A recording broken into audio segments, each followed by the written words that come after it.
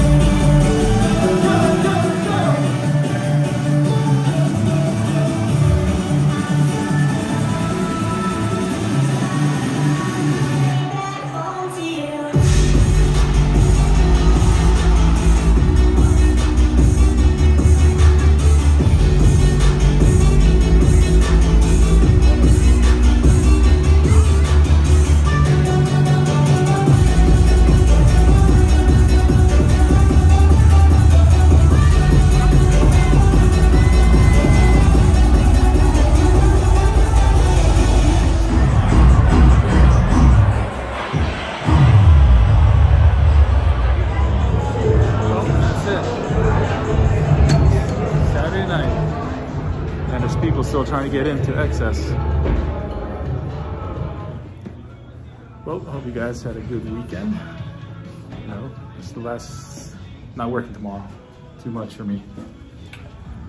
NFL draft was a big hit this year. Lots of people in Vegas. Next weekend is the, shit, next weekend's the fight weekend. It's gonna be a good weekend too. Well, when you come to Vegas, or plan to come to Vegas, hit me up. I'll set up your table reservation, show you some uh, VIP, Vegas VIP service. Peace.